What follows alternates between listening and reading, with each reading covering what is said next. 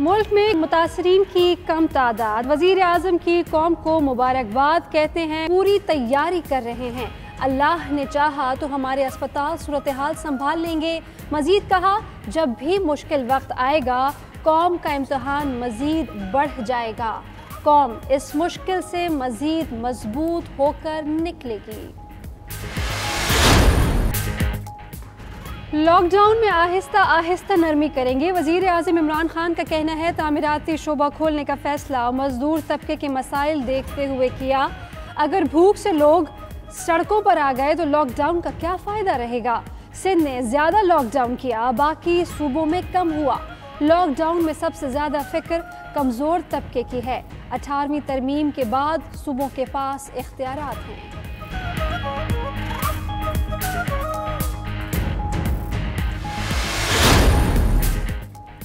मुकम्मल लॉकडाउन मुमकिन नहीं, लोगों के रोज़गार पर असर पड़ा है। असद उमर कहते हैं, कोशिश है, ऐसा निज़ाम लाएँ जिससे लोगों का रोज़गार भी महफूज हो। हम्माद अजहर का कहना है, छोटे और दरमियाने दर्जे के ताजरों के लिए दो हफ्तों में प्रोग्राम ला रहे हैं।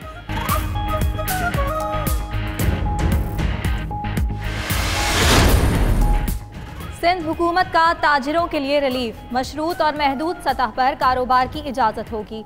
बास कारोबारी सरगर्मियों के लिए अलग अलग दिन मखसूस होंगे।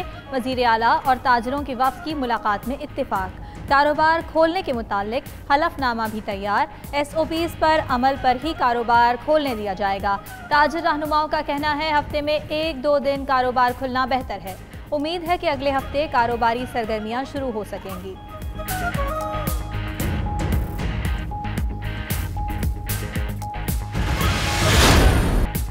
रमज़ान मुबारक में तरावीह समेत बाजमात नमाज़ की मशरूत इजाज़त। सफ़ों में नमाजियों के दरमियान छः फुट फासला होगा।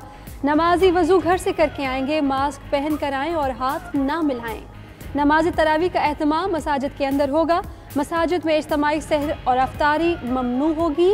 सदर और उल्मा और मशाइ की मुशावरत के बाद बीस निकाती लाहे अमल पर इतफाक़ आरिफ अलवी का कहना है, बेहतर है एहतकाफ घरों पर ही किया जाए।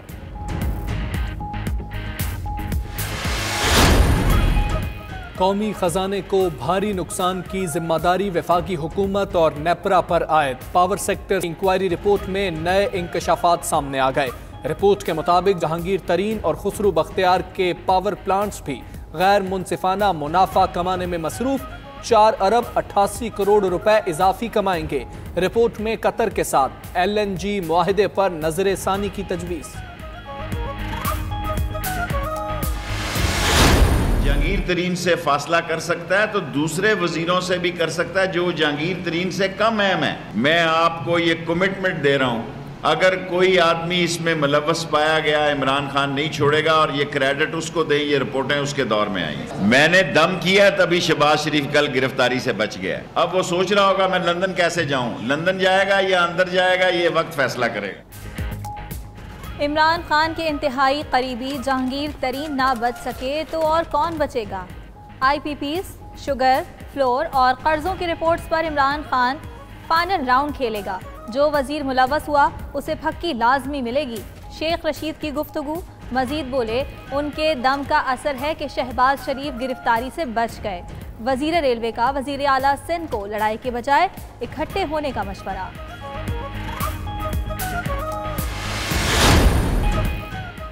सऊदी अरब में मुख्तलिफ़ कंपनीज़ ने अपने मुलाजमीन को तीन से छः माह की रुख्सत पर भेजना शुरू कर दिया। मक्का मुकरमा जद्दा और मदीना मुनवरा में अक्सर कंपनीज़ ने अपना काम बंद कर दिया। छुट्टियों पर भिजवाए जाने वाले मुलाजमीन की तनख्वाहों में से 30 से 50 फ़ीसद तक कटौती होगी।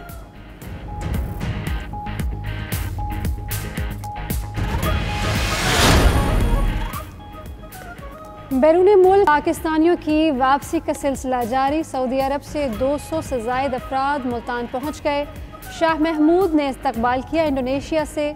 219 पाकिस्तानियों की पी आई ए की खसूसी परवास पर कराची के लिए रवानगी। अकवामी और इलाकाई फ़्लाइट ऑपरेशन की मअतली में 30 अप्रैल तक तोसी। खसूसी परवाज़ों के लिए एस ओ पीज़ जारी।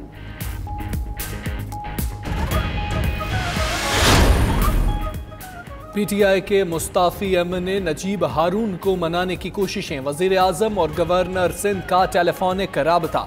जराये के मुताबिक इमरान खान ने इमरान इस्माइल को नजीब हारून को मनाने का टास्क दे दिया। कहा, नजीब हारून पार्टी के बानी अरकान में से हैं। शिकवे दूर किए जाएँ। उधर सदर और गवर्नर सिंध की नजीब हारून से इस्तीफा वापस लेने की दरखास्त। नजीब हारून की सैफ न्याजी से मुलाकात भी हुई।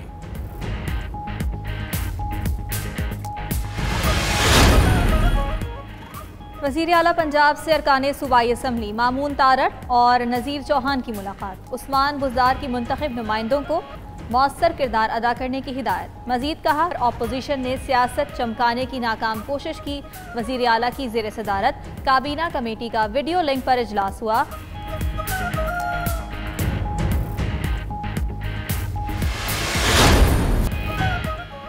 और 34 साल कबल लगने वाला एक छक्का? याद करके भारतीयों के दिलों को आज भी लगे धचका। मियादाद ने चेतन शर्मा की आखिरी गेंद पर जोरदार छक्का लगाया। शारजा के मैदान में पाकिस्तानी टीम को मैच जिताया। आईसीसी ने भी तस्वीर शेयर करते हुए छक्के की याद ताज़ा कर दी।